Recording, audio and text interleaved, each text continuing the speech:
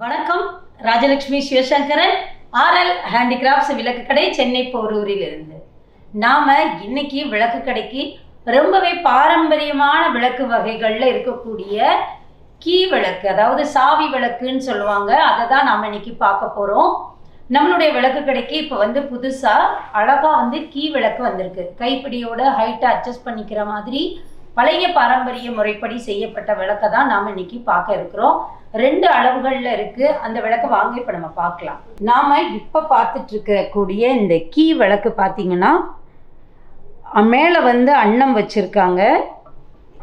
அஞ்சு முகத்தோடு இருக்கக்கூடிய தகழி அதாவது விளக்கோட பார்ட்டு இது வந்து கீழே வந்து நம்ம ஹைட்டு அட்ஜஸ்ட் பண்ணிக்கிற மாதிரி. வேணும்னா கீழே வரைக்கும் நம்ம வந்து இதை அட்ஜஸ்ட் பண்ணிக்கலாம்.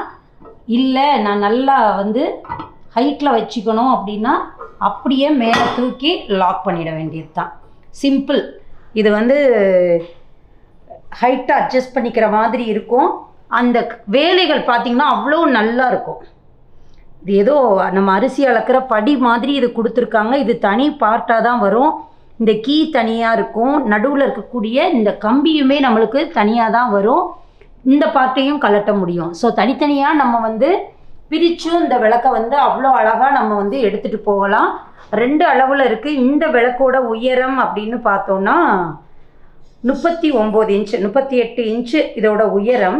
கீழே இந்த பார்ட்டு பார்த்தோம் அப்படின்னா ரொம்பவே அழகாக இருக்குது ரொம்பவே அழகாக குண்டாக நார்மலாக இருக்கக்கூடிய விளக்குகளில் இருக்கக்கூடியது கிடையாது.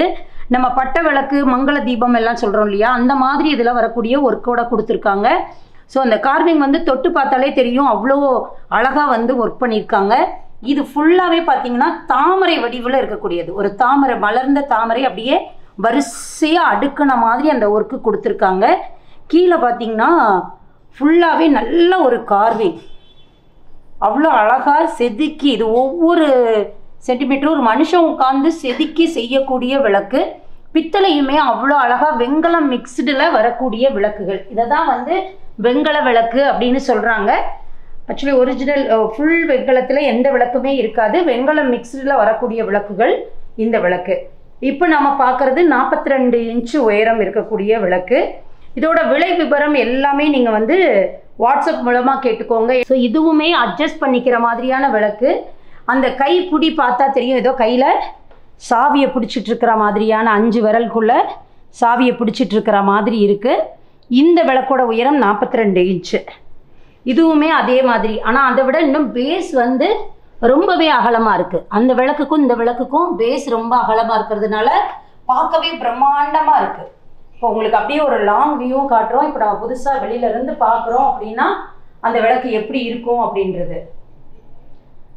இந்த விளக்கு வந்து ரொம்பவே டிமாண்டு எங்களுக்கே வந்து செஞ்சு கிடைக்கிறதுன்றது ரொம்பவே பெரிய விஷயமா இருக்குது ஸோ அதனால் செஞ்சு நம்ம இது வந்து ஆர்டர் வந்து கிட்டத்தட்ட ஒரு நாலு அஞ்சு மாதத்துக்கு முன்னாடி கொடுத்த ஆர்டர் இப்போ தான் நம்மளுக்கே கிடச்சிருக்கு.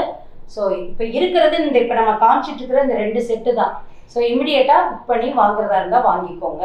நாம் இன்னைக்கு பார்த்த இந்த விளக்கு உங்களுக்கு ரொம்பவே பிடிச்சிருக்கும் அப்படின்னு நம்புகிறேன் இந்த விளக்கு வந்து நம்மளுக்கு கிடைக்க வர்றது வந்து ரொம்பவே ரேரான ஒரு விஷயமா இருக்குது ஸோ நீங்கள் வந்து வேணும் அப்படின்னு நினச்சிங்கன்னா இமிடியேட்டாக வாட்ஸ்அப் பண்ணுங்கள் அல்லது நம்மளுடைய வெப்சைட்டில் போய் புக் பண்ணிவிடுங்க ஏன்னா இது வந்து ஸ்டாக் ரொம்பவே கம்மி தான் ரொம்ப ரேராக கிடைக்கக்கூடிய விளக்கு. ஸோ அதனால் இமிடியேட்டாக புக் பண்ணிக்கோங்க.